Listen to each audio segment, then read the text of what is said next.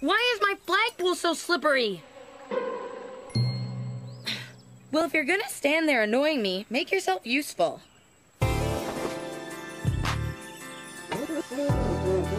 No! Let's go,